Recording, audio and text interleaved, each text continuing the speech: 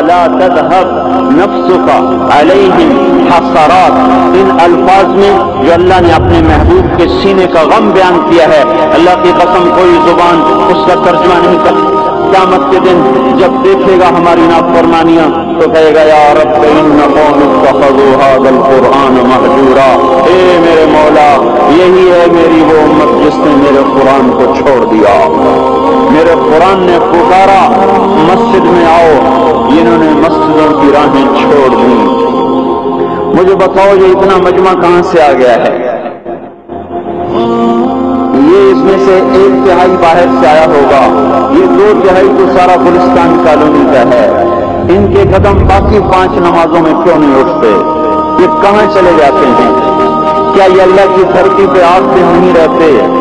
کیا یہ صرف آٹھویں دن اللہ کا رزق کھاتے ہیں؟ کیا یہ صرف آٹھویں دن اللہ کا پانی پیتے ہیں؟ کیا یہ صرف آٹھویں دن اللہ کی ہوا کے تن و تن اپنے پھیپڑوں میں لے جاتے ہیں؟ کیا یہ صرف آٹھویں دن اللہ کے دور نور سے دیکھتے ہیں؟ کیا یہ صرف آٹھویں دن اپنے کانوں سے سنتے ہیں؟ کیا یہ صرف آٹھویں دن اپنے جسم کی نعمتوں سے فائدہ اٹھاتے ہیں؟ کیا یہ صرف آٹھویں دن سورج کی روشنی سے نفع اٹھاتے ہیں؟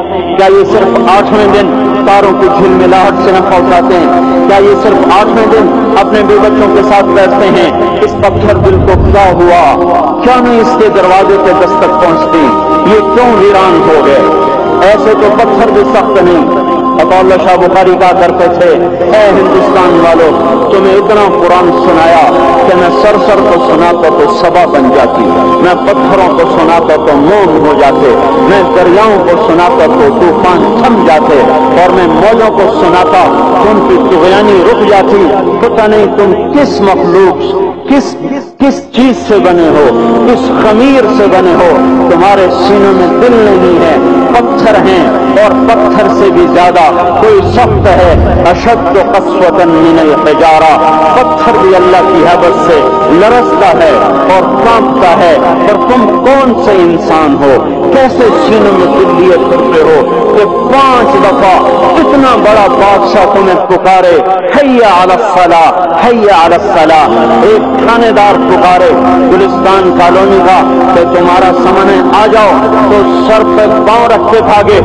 ڈی سی پکارے تو کام چھوڑ کے بھاگے اور تمہارا زمین آسمان کا بادشاہ تمہیں دن میں پانچ دفعہ پکارے اور کانوں پہ جو نہ رہیں گے اور آٹھویں دن مسجد کو آ رہے ہوں۔ کیا آٹھویں دن کھانا کھایا ہے؟ کیا آج ہی پانی پیا ہے؟ کیا آج ہی چائے پی ہے؟ یہ ایسی جفا اپنے آپ سے کرتے، شیطان سے کرتے، ملک و مال سے کرتے، اپنی دکانوں سے کرتے، یہ بے وفائی اللہ سے کیوں کی ہوئی ہے؟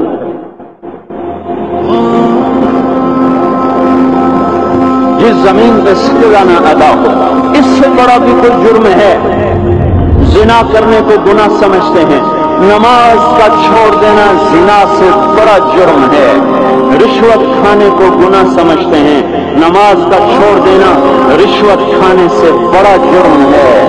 قتل کرنا بڑا گناہ سمجھتے ہیں۔ نماز کا چھوڑ دینا قتل سے بڑا جرم ہے۔ سجدے ہی کا تو انکار کیا تھا شیطان نے۔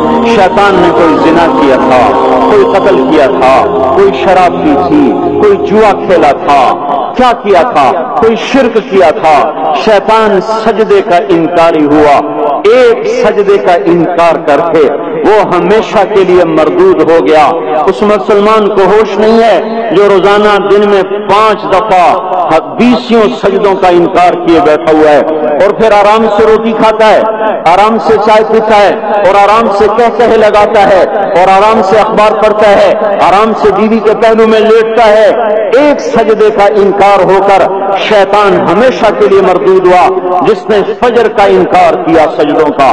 پھر زہر کے سجدوں کا مذاق اڑایا، پھر اثر کا مذاق اڑایا، مغرب اور عشاء کا مذاق اڑایا۔ گھر میں نماز پڑھنا بھی چلو نہ پڑھنے سے تو بہتر ہے، پر یہ بھی نماز کا مذاق ہی ہے۔ اور آپ آٹھویں دن سر پہ ٹوپی رکھ کے آیا۔ آٹھ دن جس نے اتنے سنوں کا انکار کیا۔ وہ اس بات سے نہیں ڈرتا کہ کہیں اللہ اسے مردود نہ کر دے۔ تو کیا ہوگا اس دن جب جن بچوں کی خاطر یعنی یا جس نفس کی خاطر اللہ کے بغاوت کی، کہ اٹھا نہیں جاتا، آیا نہیں جاتا، گرمی بڑی ہے، سردی بڑی ہے، اندھیرا بہت ہے۔ کیا قبر کے اندھیرے یاد نہیں ہیں؟ کیا قبر کی گرمی یاد نہیں ہے؟ کیا جہنم کی آگ بھول گئے؟ کیا جہنم کے عذاب بھول گئے؟ کیا جنت کی نعمتیں بھول گئے؟ وہ اللہ کا کلام بھول گئے، وہ اللہ کا دیدار بھول گئے، وہ اللہ سے ملاقات بھول گئے، وہ محبوب خدا کی محفل بھول گئے۔ یہ کیسا اسلام ہے؟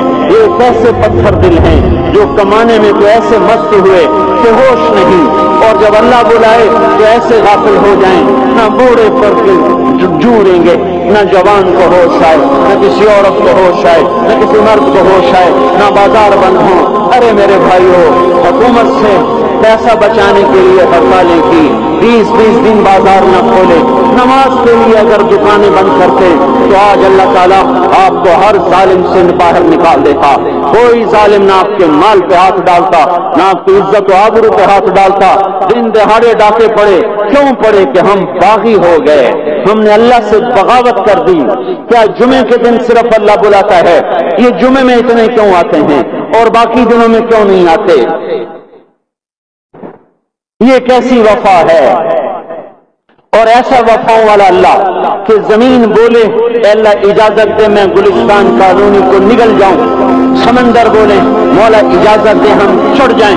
فرشتے بولے، اے اللہ اجازت دے، ہمیں ہلاک کر دیں۔ اور جس کے سجدے کا انکار ہوا پڑا، جس کے آٹھوں بازاروں میں، جس کی شریعت کا مذاق اڑایا جا رہا، وہ جس کی غیرت، خود جوش میں آ رہی کہ یہ میرے بنے ہوئے، گندے پانی کے بنے ہوئے۔ نطف نہیں ہوئے۔ میری غذا کھا کر میرا رشت کھا کر میری ہواؤں سے زندہ، میرے پانیوں سے زندہ، میری روٹی سے زندہ، میرے دیے ہوئے، میرے دیے ہوئے گوشت سے زندہ، میرے دیے ہوئے نظام سے زندہ۔ وہ میرے ہی منکر بن گئے۔ پندرہ سو روپے کا ملازم آپ کو چائے کی پیالی نہ دے۔ تو آپ کہتے چل چھٹی کر ہم کوئی اور رکھیں گے۔ اور جس نے اتنا بڑا وجود بخشا، آنکھوں میں چراغ جلائے، کانوں میں خون لگائے، دماغ میں برقی رویں دوڑائی، دل کو چھٹایا، سارے بدن کے تو خون پہنچانے کا نظام چلایا پھپڑوں کی فیکٹریاں چلائیں، رگوں میں خون پہنچایا، ہڈیوں کو غذا پہنچائی، اور آنکھوں کو غذا پہنچائی، بالوں کو غذا پہنچائی، زبان کو بولنے کی طاقت دی، دانتوں کو کاٹنے کی طاقت دی۔ دو دو دو وہاں نالیاں لگائی سانس کی الگ کر دی اور میدے کی الگ کر دی اور وہاں پردہ لگایا، جو غذا منہ میں جائے تو میدا بند میدا کھل جائے اور پھیپڑے کی طرف جانے والی نالی رک جائے۔ جو اللہ اتنی اتنی حفاظت کرے کہ آپ کا لکما آپ کے میدے میں جائے تو دو ہی تو یوں ساتھ ہیں، یوں ساتھ ہیں۔ بالکل یوں۔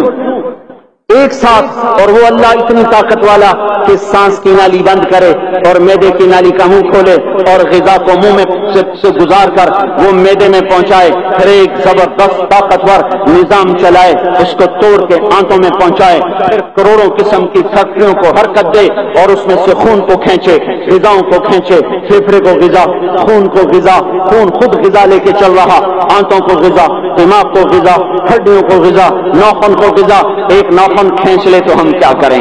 کیا میرے مولا کا نظام ہے؟ یہ ہمارا قبرستان ہے، مردہ سیل باہر نکل رہے۔ اور نوپن کی شکل میں باہر آ رہے۔ پھر آگے جا کے اور سخت ہو رہے۔ تھوڑا سا نوپن زیادہ کٹ گیا۔ سارا دن سی سی کرتا ہے۔ سارا دن ہائے ہائے کرتا ہے۔ یہی نوپن میرا رب کھینچ لے تو ہم تو ایک نوپن کا شکر ادا نہیں کر سکتے۔ یہ جوڑ بنا دیے۔ سیدھا کر دیں تو ہم کسی کا شکر ادا نہیں کر سکتے۔ میرے بھائیوں یہ سب کچھ کر کے پھر ہم اللہ کے باغی ہو جائیں۔ ہے کوئی عقل میں آنے والی بات؟ ہے کوئی سوچ بچار کی بات کہ پندرہ سو صرف دیے اور اس نے چائے کی پیالی نے بھی تو نکال دیا۔ اس نے دانت کو ڈیل نہیں کیا تو نکال دیا اور یہ وجود کہاں سے خرید کے لائے یہ زمین کس نے بھی شاپ دی ول اردا اے میرے بندے میں نے ہی تو تمہیں بنا کے دی۔